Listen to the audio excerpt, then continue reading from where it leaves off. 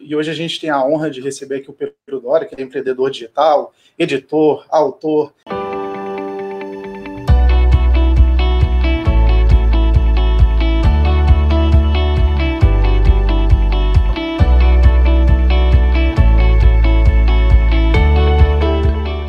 Porque é, você falou uma coisa, eu, engraçado, por isso que eu não gosto muito dessa métrica de esquerda e direita, porque eu acho tão confuso. Olha só que engraçado, eu colocaria o Armínio como um liberal de direita e o Rodrigo Maia como um liberal de esquerda. Sabe por quê?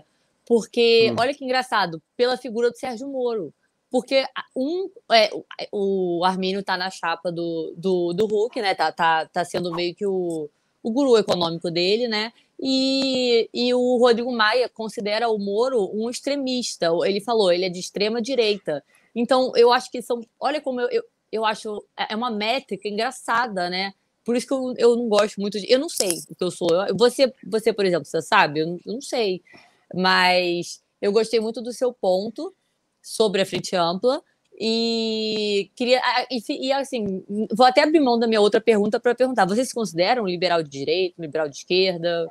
O Eduardo Jorge, eu acho total, lib left. Eu acho ele o exemplo disso, assim, eu adoro ele. Eu, eu vou, eu vou, eu, eu, já acho muito ousado me, me, me, posicionar como liberal, não vou chegar ao ponto de, de, de como jornalista e, e, além disso, não.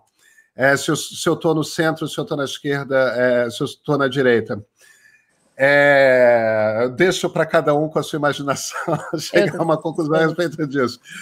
Mas é, você tem que descolar a política,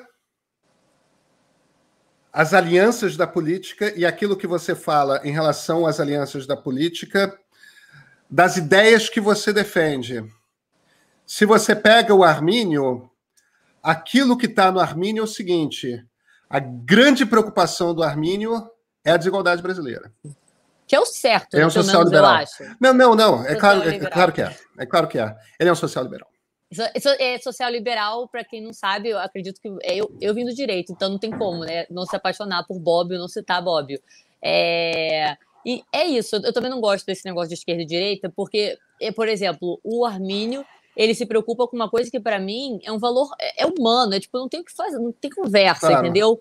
O Moro, claro. ele ele já é uma figura que quando você chama ele para sua chapa, você está fazendo um aceno à direita. Se é centro-direita, se é extrema esquerda, eu não sei te dizer, mas é direita, é conservador, ele é fã de Churchill, ele, ele, ele é de direita, isso é apenas fato. Então, esse é o, o, o meu ponto, o, sabe? Essa é a pergunta claro que, que sim. me empolguei claro e esqueci a outra. Pelo, pelo, pelo, pelo discurso do Armínio, ele é um liberal de esquerda, ele é um é. social liberal, ele, ele, ele é Norberto Bobbio, entendeu? É, é, ou, ou se você preferir. Eu gosto do Bob. Ou, ou, se você preferir ir, americana, ir a americana, ele é muito parecido com o Rawls, entendeu? É, é. é, tem, enfim, é aquela coisa. É, é, o, é, o, liberalismo do Partido Democrata Americano. É... Liberal social, social liberal, chama do que, que progressista. Isso, a Helena Landau isso, fala assim, né? Isso, isso. A Helena também está no mesmo lugar. Maravilhosa. É, é, é. Todos maravilhosos, o, verdade. O, o, o Rodrigo Maia ele tem uma é, uma excessiva preocupação, me parece, com me parece às vezes que ele põe a política econômica acima das questões sociais. E, e o, o que você talvez poderia argumentar que é que é apenas uma questão de defender o Estado do Jair Bolsonaro, e pode ser, por conta da posição dele, é, mas ele está num partido que é um partido historicamente de direita, entendeu?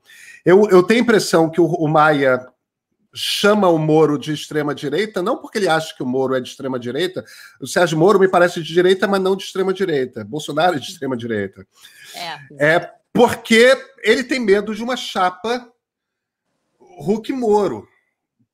Porque perante o que isso representa para o DEM. Entendeu? É, então ele está bombardeando aquela chapa, a formação daquela chapa. É, eu, por outros motivos, acho que não é uma chapa que faz muito sentido para o Hulk. Entendeu? Porque eu acho que o Moro é mal político. Eu acho que o Moro vai virar um fardo. Mas, enfim, é... e pode afastar votos da esquerda. Já entendeu? Tá pode. Criticado. É, é. Então.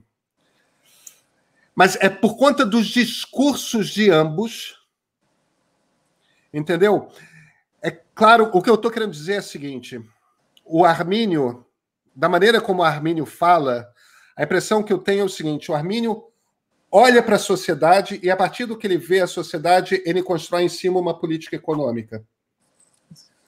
O Rodrigo Maia me parece que vê uma política econômica que ele acha que tem que ser mantida, ele mantém essa política econômica e aí vê quais são os remendos que dá para fazer para é, cuidar da sociedade, entendeu?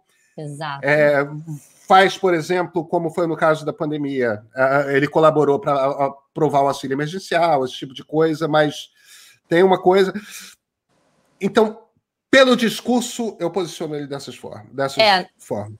Tem razão. É que eu nunca tinha parado para pensar no discurso do Maia. Eu vejo muito ele como. É, não, ele tem uns posicionamentos assim, mas o. É, é por isso que eu prefiro a classificação Armínio é, é, Arminio não, é progressistas e conservadores. Eu acredito que, né, não sei, mas eu concordo plenamente. É porque eu acho que desigualdade devia ser um, para todo mundo o, o, problema maior, né? É, é, que eu acabo, é que eu acabo dividindo o espectro político entre progressistas, conser, é, progressistas liberais e conservadores. Eu